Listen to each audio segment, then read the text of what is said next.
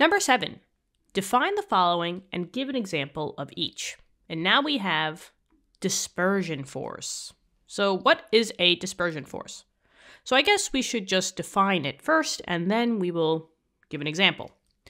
Now, dispersion forces basically any atom that you have will always, or not atom, but any compound or molecule that you have will always exert dispersion forces. These forces are there 100% of the time, no exceptions.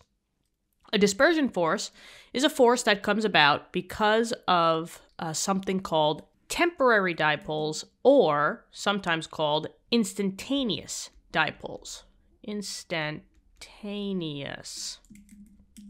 Instantaneous. Come on, Christina. There we go. So, dispersion forces are forces that occur due to temporary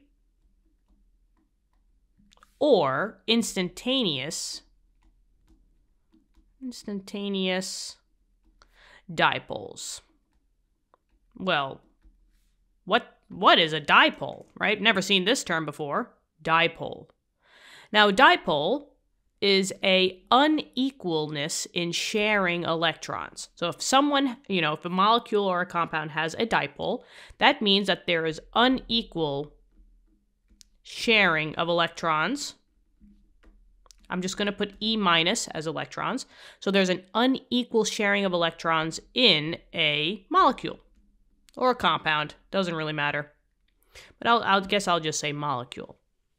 Now, generally speaking, we can look at two different uh, types of compounds where you have a symmetrical compound and you have an asymmetrical or a different co compound.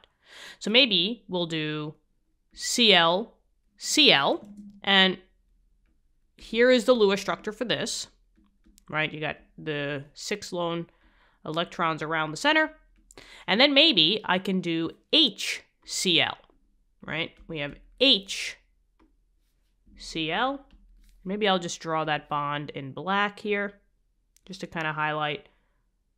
And then if we draw the Lewis structure for this, you just have the six electrons around the chlorine. Okay.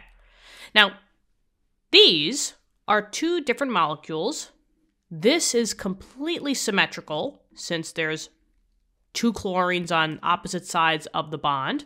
So this would be classified as nonpolar. And this molecule, if we split this down the middle, this is not symmetrical. H on one side, Cl on the other. And every time that you have a difference in symmetry, that's asymmetrical, that's polar. But now, both of these molecules will both have dispersion forces. So this one will have dispersion forces. And this one will also have dispersion forces. I just drew these here just to show you that it doesn't matter what type of molecule you have. Whether you're polar or nonpolar, you will both have dispersion forces because everything in life is not perfect, right? So even if you have a perfect symmetrical molecule, you will still form a temporary dipole.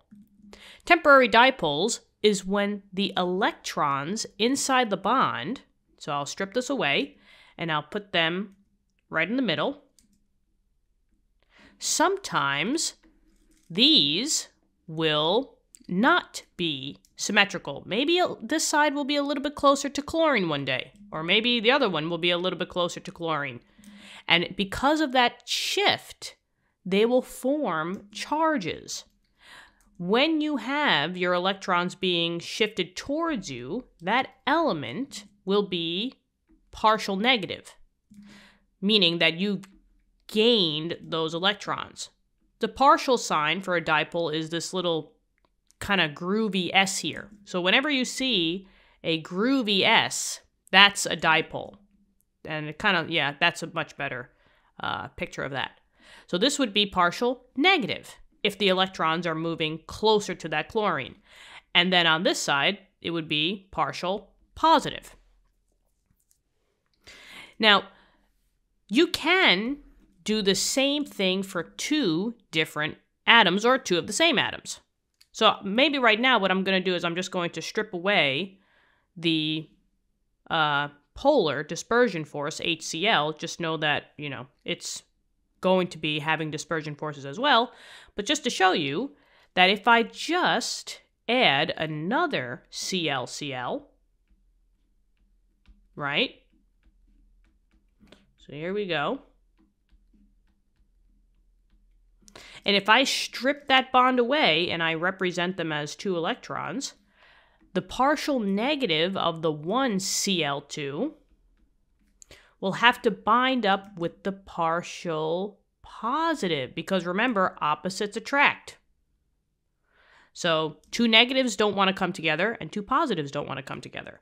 So the positive will be showing towards the negative of the other one which means that this one has to be the partial negative, and the chain just keeps going, which means that temporarily, this electron will be a little bit closer to the other chlorine. And that's what this is trying to be showing you as, that sometimes those electrons that are being shared are not right smack in the middle. If the electrons are more towards the negative side, or that atom, that will be more partial negative, and it will want to form that attractive bond temporarily with the positive of the other one.